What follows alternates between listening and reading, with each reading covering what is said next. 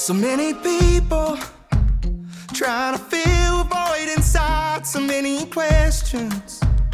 Asking how, asking why. I might not have all the answers, but I've tasted and I've seen. There's a better path with Jesus. There's no going back for me. I'm gonna live the way He says to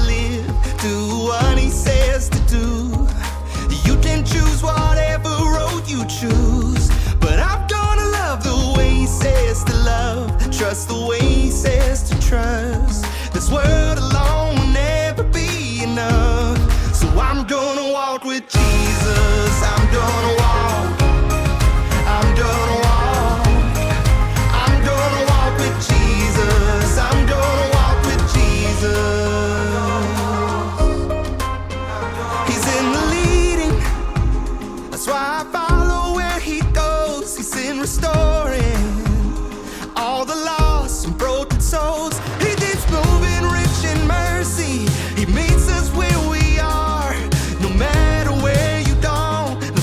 things start to fall